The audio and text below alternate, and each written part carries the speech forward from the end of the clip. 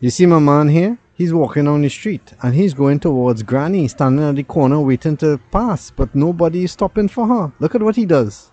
He takes her hand, he puts his hand out to stop the vehicles, and he helps her to cross. That is man.